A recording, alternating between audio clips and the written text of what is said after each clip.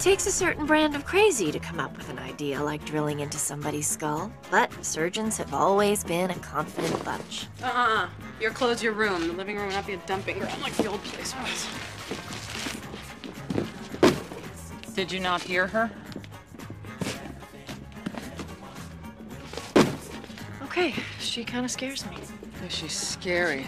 Callie needs a new best friend. Not bad, right? It's great.